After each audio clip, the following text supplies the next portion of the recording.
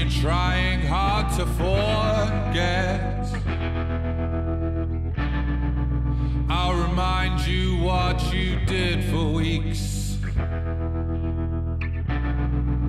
You can hide inside your bed, yeah. But I know what really lies beneath the sheets.